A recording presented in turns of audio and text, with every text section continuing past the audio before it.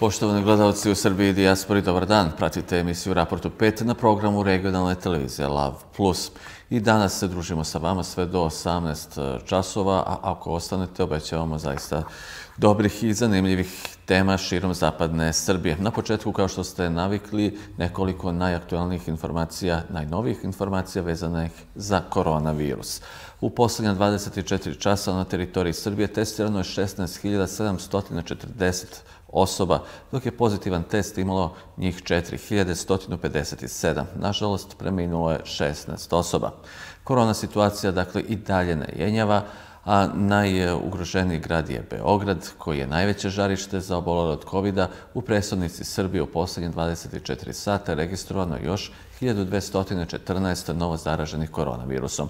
Na drugom mestu nalazi se Novi Sad sa 374 novo obolela, dok je treći Niš sa 230 novo obolelih. A kada je u pitanju Čačak, podaci za danas su sljedeći. Na svim odeljenjima u okviru opšte bolnice Čačak, koje su pretvorene u COVID odeljenja, hospitalizovano je 79 pacijenata. U respiratornom centru nalazi se šest e, lica, dva pacijenta su na respiratoru.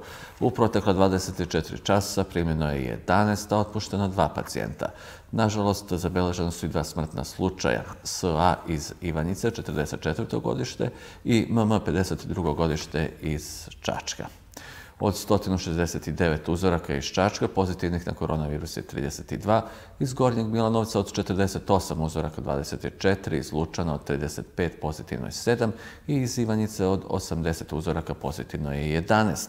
Kada je u pitanju Užice, od prethodnog izveštaja do danas, koronavirus je potvrđen kod još 158 osoba i to u Užicu kod 55, Arilju 34, Banjoj bašti Priboj po 13, Prijepolju i Čajtini po 11, Požegi 8, Sjenici 5, Kosjerići i Novoj Varoši po 4 novo zaražena lica. Od početka epidemije do danas ukupno je potvrđeno skoro 19.500 slučajeva infekcije koronavirusom na teritoriji Zlatiborskog okruga. Inače, u okrugu u Zlatiboru, na Zlatiborskom okrugu, vakcinisano je 32.661 osoba, što je 15% odrasle populacije ovog kraja. A mi prelazimo i na druge teme u današnjem raportu. Predsjednici i načelnici opština Priboj i Čajtina iz Srbije i Višegrada i Rudog iz Bosne i Hercegovine potpisali su memorandum o saradnji. Cilj je da se zajednički realizuju brojni projekti preko granične saradnje, kao i da se doprinese još uspešnije poslovnoj saradnje četiri komšijske opštine. U cilju unapređenja kvaliteta života građana, boljih prijateljskih i poslovnih odnosa, promovisanja ekonomskog, socijalnog i kulturnog razvoja, u Višegradu je potpisan memorandum o saradnji četiri susedne opštine – Priboj, Čajtina, Višegrad i Rudo. Mi imamo dosta sličnih interesa i kod turizma i kod saobraćaja, tako da će naročito projekti koje Republike Srbija sprovodi, mi moramo sa svoje strane da učestvujemo u svemu tome da poboljšavamo uslove da bi ti projekti mogli što brže i što bolje da zažive. To su i, i autoput, to je svakako i E, aerodrom Ponikve, to je rekonstrukcija pruge Beograd-Bar, ali međusobno povezivanje, jer čak i u vreme bivše Jugoslavije, kada su sve ove opštine se nalazile u jednoj državi, iz nekih razloga, odavno ne verujemo slučajnosti, na primjer, vi ste imali Priboj Četina, Rudo, koji imaju najduže granice zajedničke, niste imali faktički direktnu komunikacijsku vezu, sve će se ovo promeniti, sve uopšte nemaju i stručne timove koje mogu aplicirati kod fondova Evropske unije kod nas, tako da nadam se da će ovo biti samo početak jedne intenzivnije bolje saradnje. Predsjednik opštine Čajtina je naglasio da je potpisivanje memoranduma prilika za još bolju saradnju i to kroz institucije sistema. Evo, ova, potpisivanje ovog memoranduma za naše opštine je izuzetno značajno, zato što možemo da sarađujemo na polju zašte životne sredine, na u oblasti turizma, ekonomije, razmene, e, kulturnih i sportskih sadržaja, tako da sigurno u budućem periodu e, će i ovaj potpis danas između ove četiri opštine puno značiti i da se kroz institucije ova saradnja ovekoveči i da jednostavno u ovo teško vreme korone napravimo nešto dobro i za Republiku Srpsku i za Republiku Srbiju, a naravno ovo puno znači sutra i povezivanju ovog autoputa ili polu autoputa koji treba se gradi iz Srbije, od Požege ovamo do Višegrada, pa i dalje da povezuje Republiku Srpsku sa Srbijom. Znači, to je višestruk značaja i mi ovde na lokalu da pružimo taj doprinos nacionalnim projektima. Memorandum će biti u interesu svih građana ove četiri opštine, jer kako je istakao načelnik opštine Rudo, svi su, hteli to ili ne, naslonjeni jedni na druge. Nadam se da će od toga imati korist naš narod, naše države i da ćemo u daljem procesu to unapređivati i razvijati. Pa ja mislim da bez toga i ne možemo da moramo sarađivati, moramo, mi smo naslonjeni jedni na druge i tako moramo i da se ponašamo i tako, tako i treba da bude. Sporazum o saradnji otvara mnoge teme po kojima opštine mogu da sarađuju. Povezivanje dece i mladih će biti jedan od prvih zajedničkih projekata. Potpisali jedan, mogu reći, značajan memorandum koji povezuje opštine Rugo, Čajetina i Priboj. Naime, kao što su i prethodnici rekli, memorandum koji se odnosi na zbližavanje u pogledu privrede, turizma, ekonomije, a i svih svi segmenata našeg društva. Također se odnosi i na zajedničkom radu za prekogranične projekte. Vjerujemo da će od memoranduma sve ove četiri opštine imati mnogo toga. Ono na što smo također inicirali je da našu djecu iz ove četiri opštine povezujemo i razmjenjujemo u pogledu upoznavanja svake opštine pojedinačno. Potpisivanju memoranduma o saradnji prethodio je sastanak početkom februara u Čajtini kada su čelnici lokalnih samouprava dogovorili zajedničke projekte, a sve u okviru protokola o saradnji na projektu Podrinje koji je potpisan 2012. godine između vlada Republike Srbije i Republike Srpske. I dalje govorimo o ekonomskim temama. Udruženje računovođa i udruženja privrednika zatražila su od Agencije za privredne registre da pomeri rok za dostavljanje statističkog izveštaja za 2020. godinu do 31. marta ove godine. Računovođe i knjigovođe ističu pored ostalog da od 2015. kada je uvedena obaveza elektronskog podnošenja izveštaja do danas, APR nije obezbedio adekvatan informacijani sistem, ali u tom periodu naplatio naknadu u iznosu od milijardu 300 miliona dinara za posao koje knjigovođe rade.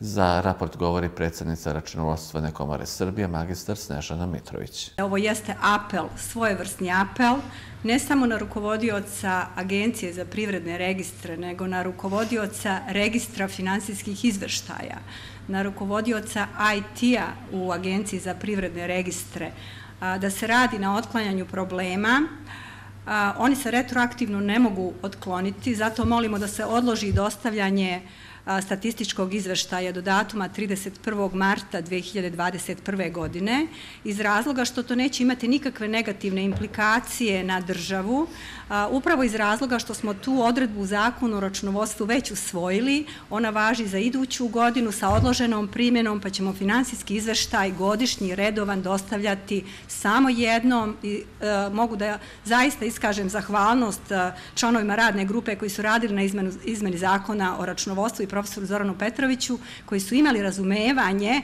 da je previše obima posla, pogotovo u ovakvom funkcionisanju aplikacije za računovođe da dva puta dostavljaju finansijski izveštaj. Jednom statistički i ove godine je to poslednji rok, zato molim vas, saslušajte danas ovo što će biti izneto i pomozite da u ponedeljak ne bude samo saopštenja APR-a koliko je dostavljeno brojčano statističkih izveštaja kao opravdanje, rekla bih, nemojte zameriti na ovom izrazu, zato što su bili ovoliki problemi u prenosu podataka koji su trajali tokom ovog prethodnog perioda. Ovaj apel uh, Agenciji za privredne registre nije zahtev da se krši zakon o računovodstvu, nego je apel da se pomogne, da se produži rok do 31. marta 2021. iz razloga što su korisnici usluga APR-a imali u kontinuitetu ili sa prekidima određene probleme, izgubili mnogo vremena da dostave statističke izveštaje.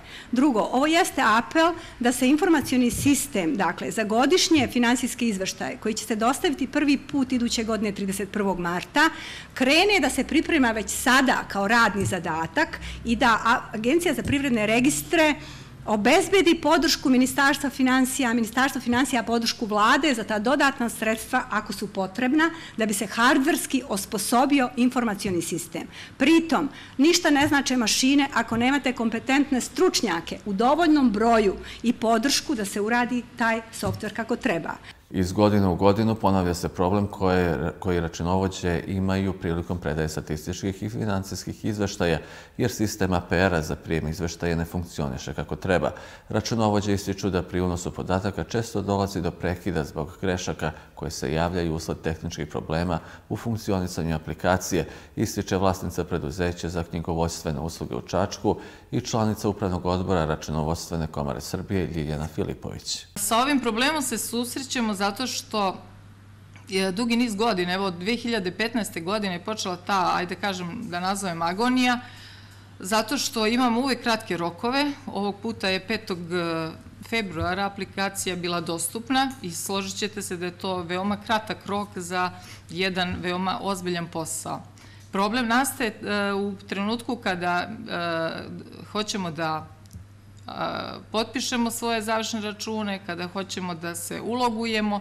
Znači, nije moguće upravo zato što imamo više sertifikacijnog tela, oni sami nisu kompatibilni i zaista imamo mnogo problema, to nam oduzima mnogo vremena, sedimo za računarom, evo, sigurno svako od vas e, danonoćno. Ja, ja bih htjela da istaknem da prilikom sprovođenja reforme Poreske uprave, da smo zaista imali veliku podršku u, u Poreskoj upravi i da smo imali stalne sastanke i njima je bilo bitno šta računovođe misle, kako je najbolje moguće implementirati sistem koji su zamislili. Međutim, APR, evo, ja više od 30 godina sam poslodavac, bavim se ovim poslom, nikada, nikada, znači ja, ali sigurno sam i bilo ko od ovih kolega, E, nije imao priliku ni da bude na nekom sastanku u APR-u. Znači, vrlo, vrlo sam, ajde kažem,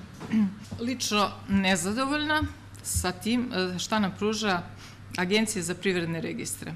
Građanska čitaonica Libergraf iz Užica u saradnji sa Crtom iz Beograda kroz program Građani imaju moć realizuje projekate za transparentnost protiv korupcije. Cilj ovog projekta je da se poveća transparentnost i odgovornost rada organa lokalne samouprave, odnosno konkretno Gradske uprave za urbanizam, koja je odgovorna za izdavanje građevinskih dozvola. Akcenat je u projektu stavljen na oblast zaštite životne sredine. Konkretno, jedan od analiziranih projektnih objekata je stara hidrocentrala pod gradom na gradskoj plaži u Užicu i izvođenje radova na njenoj rekonstrukciji i adaptaciji koji su započeti 2018. godine. Užička stara hidrocentrala za kulturno dobro od velikog značaja proglašena je još 1974. godine. Nakon analize zakona o kulturnim dobrima i druge prikupljene dokumentacije u građanskoj čitaonici Libergraf tvrde da u konkretnom slučaju rekonstrukcija hidrocentrale pod gradom na Užičkoj gradskoj plaži, investitor nije ispoštovao zakon o kulturnim dobrima, niti od Zavoda za zaštitu spomenika kulture Kraljevo pribavio saglasnost na urbanistički projekat, o čemu su pismeno od Zavoda i dobili odgovor. Također, na zahtev Libergrafa, nadležni iz Zavoda za zaštitu spomenika kulture Kraljevo izašli su na teren kako bi utvrdili stanje kulturnog dobra. Danas smo na licu mesta došli da se uverimo u radove, u izvedeno stanje radova na e, hidroelektrani, e, staroj hidrocentrali u Užicu e, pod gradom i koja je utvrđeno nepokretno kulturno dobro od velikog značaja. Utvrdili smo uvidom na, na licu mesta, utvrdili smo isto što su utvrdile i naše kolege 2019. godine, da su radovi izvedeni u skladu sa merama tehničke zaštite koje je izdao Zavod za zaštitu spomenika kulture Kraljeva. Odstupanja nema, e, dobili smo pojašnjenje da radovi još uvek nisu završeni, da će se e, intervenisati još na, na e, nekim podzidama, na nekim detaljima oko odvođenja vode iz jaza, tako da, da će još nekih radova biti, mi ćemo naravno propratiti i, i ostale radove, ali za sada nemamo nikakve primetbe. E, investitor je od nas pribavio mere tehničke zaštite za potrebe e, izrade e, urbanističkog projekta i mi smo izdali mere tehničke zaštite 2014. godine, a zatim smo izdali nove mere tehničke zaštite 2016. godine, jer naše mere važe dve godine, tako da su u suštini 2016. ponovljene iste mere koje smo izdali i nakon toga se nama e, investitor obratio zahtevom 2017. godine da e, izdamo saglasnost na projektnu dokumentaciju. E, međutim, po zakonu o planiranju i izgradnji, Zavod za zaštitu spomenika kulture kao imalac ovlašćenja u postupku izdavanja lokacijskih uslova u objedinjenoj proceduri nema zakonsku mogućnost da izda saglasnost na projekat. Tako da e, Zavod izdaje mere tehničke zaštite, a dalje e, se e, projekat radi ovlašćeno lice, odnosno odgovorni projektant, odeljenje za urbanizam izdaje potrebne dozvole u skladu sa zakonom o planiranju i izgradnji i dalje sprovođenje, odnosno realizaciju projekta prate nadležne službe iz lokalne samouprave. Tumačenje zatečenog stanja nadležnih i zavoda nakon izvršene terenske kontrole ovako komentarišu u Libergrafu. Direktorka zavoda je propustila da saopšti sve činjenice u vezi sa ovim kulturnim dobrom, a to je da sem zgrade hidrocentrale, kulturnim dobrom se smatra i neposredna okolina ovog objekta, tako da se i ona mora uzeti u obzir prilikom izdavanja saglasnosti, odnosno uslova zaštite. Takođe, prilikom izdavanja mera tehničke zaštite ovog objekta, investitor je u tački 2 bio obavezan da pribavi saglasnost na urbanistički projekat i dokumentaciju, a to nije učinio. Takođe, zakon o kulturnim dobrima kojim se Zavod za zaštitu spomenika kulture vodi prilikom odlučivanja o davanju uslova zaštite i saglasnosti, e, u svojim odredbama navodi da se radovi na kulturnim dobrima ne mogu izvoditi bez prethodno izdatih e, mera tehničke zaštite i saglasnosti na projektnu dokumentaciju, odnosno urbanistički projekat. Takođe, postoji i opšte pravno načelo kojim se e, zakonu koji preciznije određuje određenu oblast daje prednost u odnosu na zakon koji je opšti. U ovom slučaju to bi bio prednost zakona o kulturnim dobrima u odnosu na zakon o planiranju i izgradnji. Kako navode u Libergrafu, u narednom periodu, a s obzirom da smatraju da zakonska procedura zaštite kulturnog dobra nije ispoštovana i pre svega da je njegova neposredna okolina značajno narušena i izmenila svoj izgled izvođenjem ovih radova, iskoristit će sve zakonske mogućnosti da se kulturno dobro dovede u adekvatno i prihvatljivo stanje. Tek je početak sezone u ovoj godini, a svi kapaciteti u banji Gornja Trepče ili popularnoj atomskoj banji su popunjeni. Osim domaćih gostiju koji nisu ni prestajali da dolaze i u jeku epidemije prošle godine, stari klijenti iz inostranstva ponovo se vraćaju. O smeštenim kapacitetima i interesovanju pacijenata za usluge koje pruža banja Gornja Trepča u raportu 5 govori doktorka Lidija Obradović-Bursać, direktorka specijalne bolnice u banji Gornja Trepča.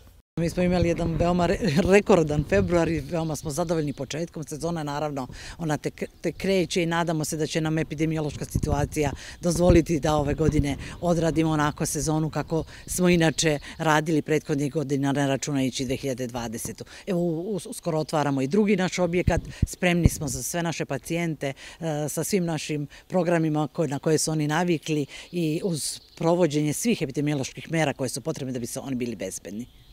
Kapaciteti koliki su vas?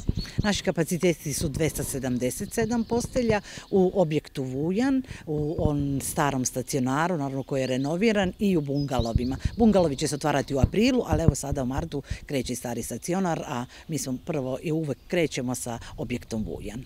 E, imate specifična situacija, nažalost, zbog pandemije, ali imate vi, pored toga, e, i gostiju iz inostranstva? Mi pored toga imamo gost. Naravno, manje je to nego što je nama su 30% bili stranci do, pred, do prošle godine. Međutim, evo ove godine već su krenuli i Makedonci, imali smo i prve Ruse, tako da i stranci ponovo počinju da dolaze. Prošle godine su dolazili mnogo manje. Nadamo se da će ovom, ove godine biti u nekom većem broju nego što su bili prošle godine. I evo, prilika je da se ipak samo na kratko ovaj, osvrnemo na prošlu e, 2020. Godinu.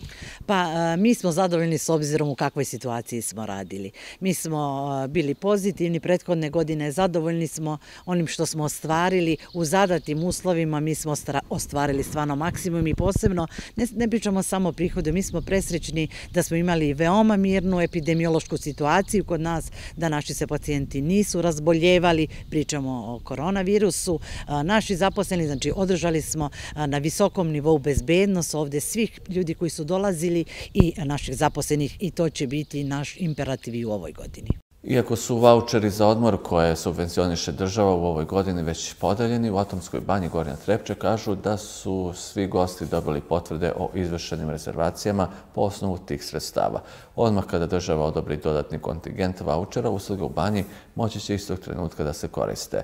Direktor marketinga i prodaje kaže da je interesovanje za vouchere i u ovoj godini veliko i očekuje da će premašiti broj od 3000 koliko je klijenata prošle godine koristilo usluge specijalne bolnice. Da napomenem da je ministarstvo i ove godine opredelilo 100.000 vouchera za one koji planiraju svoj odmor da provedu u Srbiju u vrednosti od po 5000 dinara, veliko interesovanje i ove sezone za Atomsku banju Gornja Trepča, tako da očekujemo da ćemo cifru 3000 vouchera koji su iskorišćeni prošle godine u Atomskoj banji prestići i dostići možda i cifru od 5000 po trenutnim rezervacijama, to je nešto što očekujemo. Ono što je trenutno aktualno jeste da su se ti voucheri već podelili i da ministarstvo planira da opredeli još dodatnih sredstava za te vouchere, tako da imamo ljudi koji su na čekanju čekanju da iskoriste svoja prava, da dobiju vouchere i da svoj odmor i rehabilitaciju provedu ove godine u Atomskoj banji Gornja Trepča. Ako uzmemo u obzir trenutnu epidemiološku situaciju, da je stranih gostiju značajno manje na početku sezone, a ako kažemo da je prethodnih godina 30%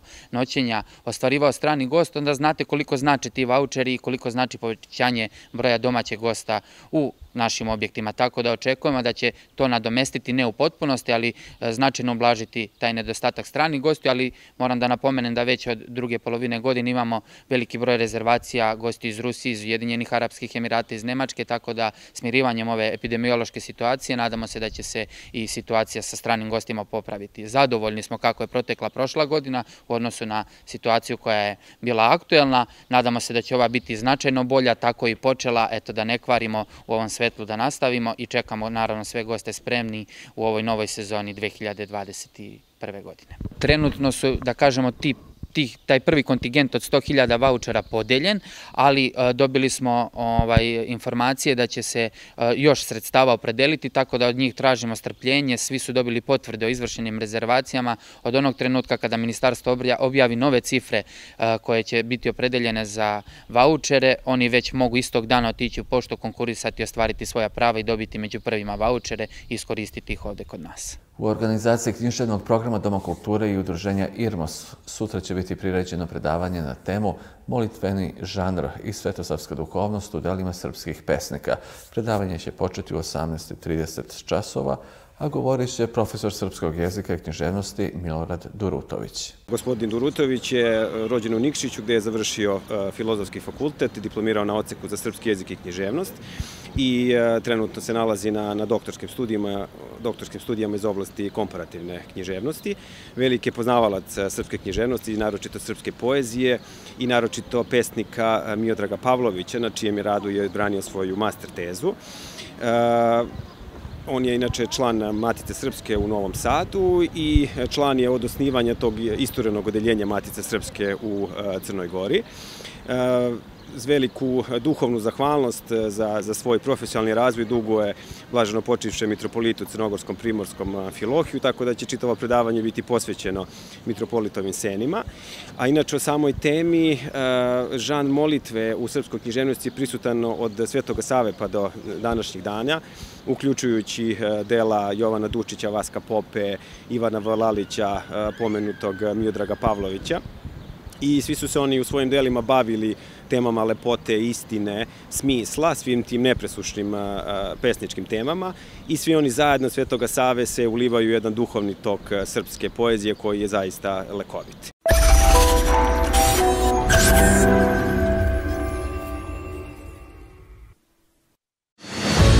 Važno nam je poverenje koje nam ukazujete. Skoro dve decenije znate da je vaša pošiljka u sigurnim rukama i da je Post Express ime za brzinu. Činimo sve da vam olakšamo poslovanje i život.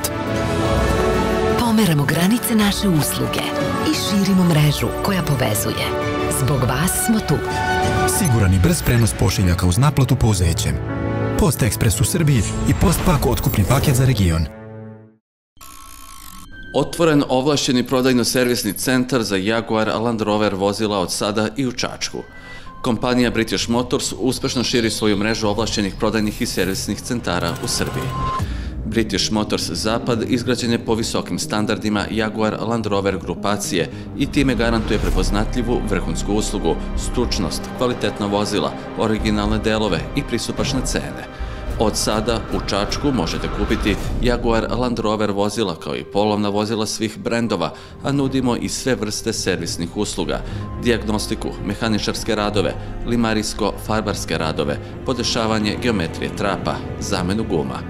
Očekujemo vas. British Motors, Zapad, prislonica BB 032 538 2424.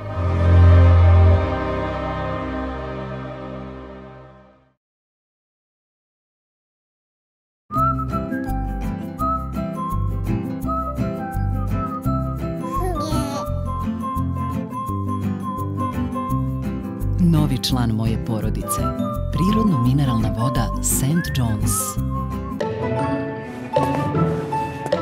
Nismo mi majke mi. Stižem sve do pet. Života mi. Tri puta sam merio. Svega mi.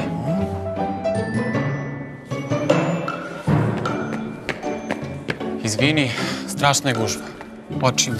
Zaklinjete se u ono najvrednije, osigurajte ga. DDOR osiguranje života. Život je premija. Ako želite pouzdanu vozačku dozvolu kategorije B, onda pod da morate da postanete učenik Automoto Savez Srbije Autoškole Čačak. Iza nas je više od pola veka duge tradicije saradnje sa klijentima koji iz generacije u generaciju šalju svoju decu na obuku kod naših instruktora da volan držite znalačkim rukama, garantuje vam vaša Automoto Save Srbije Autoškola Čačak.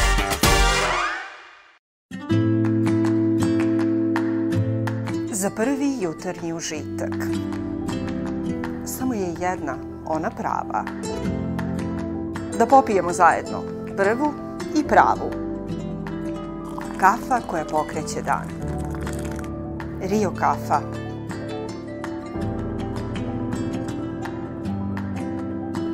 vaš trgoagent.